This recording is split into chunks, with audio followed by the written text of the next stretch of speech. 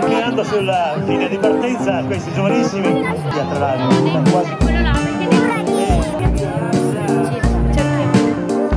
Ecco lo sparo, sono partiti. Altro che mettere in evidenza quelle che sono le caratteristiche umane.